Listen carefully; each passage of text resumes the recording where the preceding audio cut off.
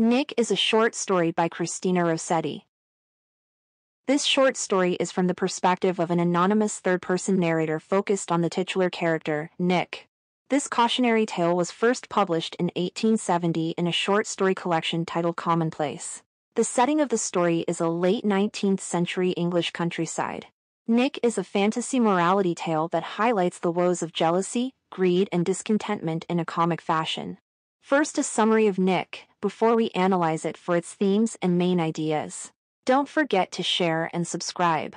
Even though Nick's material needs are satisfied, Nick is described as impoverished because, with all these, he was discontented and envious. Nick's longing to be a flock of sparrows and devour his neighbor's cherries that I wish I were sparrows to eat them up. Or a blight to kill your fine trees altogether. His wish is granted by a fairy who scorns him that he will be whatever he wishes to be but just for an hour. As she scolds him you shall straightway become everything you wish. Only mind, you must remain under one form for at least an hour. Transforming into a flock of sparrows, Nick embarks on a spree of cherry destruction. Giles Hodge, his neighbor, manages to shoot down all except one bird. In his sparrow form, Nick seeks refuge in a bush until the prescribed hour expires. However, just as he prepares to revert, suddenly a tabby cat pounced upon him. Prompting Nick to fervently wish for transformation to a dog Nick tears the cat to pieces and lays down with the cat that he ripped to viciously. At last, glutted with vengeance, he lay down beside his victim, relaxed his ears and tail, and fell asleep. The distressed owner, the doctor's lady, searches for her missing pet. Stumbling upon Nick, still in the form of a dog. Nick swings at the woman, inciting cries of mad dog that rally the entire village in a hunt for the perceived wild animal. Dodging a bludgeon swung by a laborer, Nick wishes to become the weapon, causing it to miss its aim and break. Mystified by the dog's sudden disappearance, the laborer offers the broken bludgeon as firewood to his wife at home. The warmth and light emitted as Nick burns uplift the household's mood. Nick, however, is soured by the lively mood, he wished with all his might that he were fire to burn the cottage, but timely intervention by neighbors prevents its complete destruction. Reduced ere long to one blue flame, Nick reflects he had caused more injury to himself than to any of his neighbors and decides to focus on using the fairy's gift for his own advantage without trying to annoy other people as that. The fairy may not be angrier at him, he wishes to be the rich old man who lived in a handsome house, but the narrative takes a tragic turn. As the wealthy man, Nick dreams of his chest of money, only to be attacked and killed by masked men upon waking.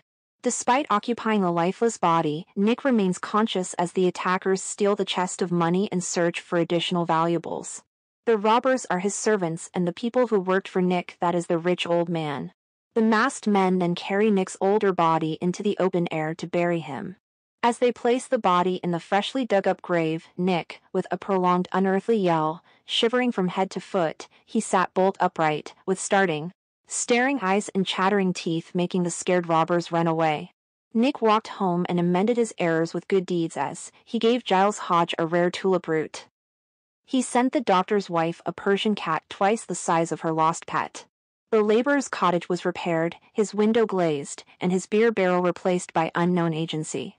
The story ends with the declaration of the biggest change which was that Nick was never again heard to utter a wish. Nick is portrayed as a man blessed with much, yet he remains oblivious to his own good fortune. Instead, he harbors envy towards his neighbors, driven by underlying insecurity. So, instead of enjoying his own prosperity and being glad when his neighbors prospered too, he would sit grumbling and bemoaning himself as if every other man's riches were his poverty constantly feeling deserving of better while believing others deserve less. Nick ties happiness with accumulating wealth and possessions. Nevertheless, through his ordeal, it's revealed that material wealth does not guarantee fulfillment. Nick succumbs to self-centered and vengeful urges, disregarding the consequences of his actions and causing harm in pursuit of his desires. However, his impulsivity proves counterproductive, leading to trouble and harm for himself and others. As the narrative progresses, Nick transforms in a good way. He learns to contemplate the repercussions of his actions and considers the needs of others. Also, he develops qualities of forgiveness and compassion. It seems that witnessing the fate of an old miser serves as a poignant lesson for Nick. highlighting that attaining material things that he desires may ultimately result in loneliness and lack of love. Nick, a discontented young man, harbors envy towards his neighbors, constantly yearning for more in his life. This dissatisfaction propels him to make a series of selfish and vengeful choices, leading to consequences that ultimately backfire. Nick initially believes that finding happiness or satisfaction lies in the misfortune of others, only to realize, through a progression of wishes, that such desires are detrimental to his own well-being. Rossetti's narrative suggests that excessive jealousy and an insatiable quest for personal fulfillment can lead individuals to lose moral grounding and perspective. The story gives the message that contentment does not reside in material possessions or power but is attainable by appreciating life's positive aspects and practicing kindness and compassion. Rossetti may be conveying the message that inner feelings have the power to influence the external world. Nick's final wish to return to his original self signifies a newfound appreciation for what he possesses, highlighting the importance of embracing one's life rather than coveting the fortunes of others. Nick's destructive behavior stems from a deep-seated sense of insecurity and jealousy towards others. For example, he intends to burn the laborer's cottage, which symbolizes contentment and simplicity, Nick's wish for the cottage to burn down becomes a symbolic manifestation of his discontent and insatiable desire for more. Another instance is his desire to transform into a flock of birds and consume his neighbor's cherries, symbolizing both greed and resentment towards others' good fortune. This human inclination is noticeable in the consequences of Nick's wish to be wealthy, where he is robbed and murdered. Rossetti highlights how jealousy can lead individuals to lose their sense of self, engaging in legally and morally crooked actions. Despite numerous wishes, excluding the final one, Nick never attains contentment or happiness, always perceiving someone or something superior to him. From wishing to be a sparrow, facing a cat's attack, to later transforming into a dog to counter the cat, each wish proves unsuccessful. Rossetti emphasizes the importance of finding contentment without comparing oneself to others, suggesting that happiness lies in appreciating what one has rather than using neighbors as benchmarks.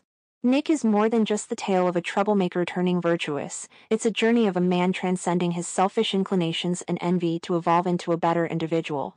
Nick's metamorphosis is arduous, requiring him to confront firsthand the repercussions of his actions before embracing lessons from his missteps the disagreeable conviction kept forcing itself upon his mind that, after all, he had caused more injury to himself than to any of his neighbors.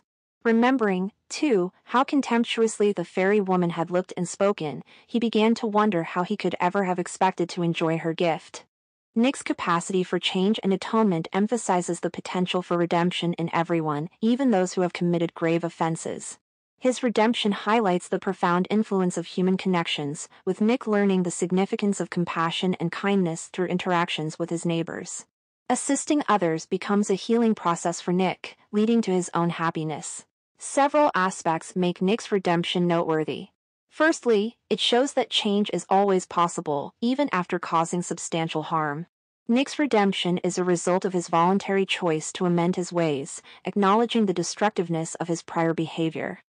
The short story emphasizes the communal aspect of redemption, portraying how Nick's neighbors inadvertently contribute to his moral makeover. This highlights that redemption emanates both from an individual's inner resolve and external support. After reverting to his original self, Nick seeks redemption by rectifying the wrongs he inflicted on others, displaying generosity and making amends to his neighbors. His newfound gratitude and liberation from jealousy contribute to a happier disposition.